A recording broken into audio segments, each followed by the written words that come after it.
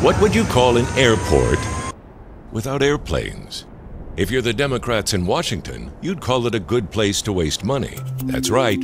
Vic Snyders voted for Nancy Pelosi's wasteful $787 billion spending plan. Snyder's been voting with Pelosi 97% of the time. It's unbridled power with no accountability. ABC News says 800,000 of Snyder's wasteful spending went to repave a runway at a Pennsylvania airport that only has three flights a day. It's the airport for no one. The airport averages just 20 passengers a day, but one of those customers happens to be a powerful Democratic congressman, John Murtha. Coincidence? You decide.